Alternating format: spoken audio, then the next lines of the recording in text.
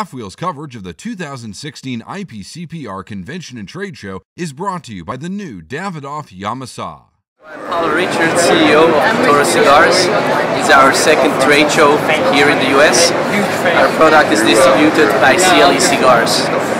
The brand Patoro has been launched in 2001 in Switzerland. We are a Swiss-based company, manufactured in the Dominican Republic. We have our own manufacturer, our own tobacco fields.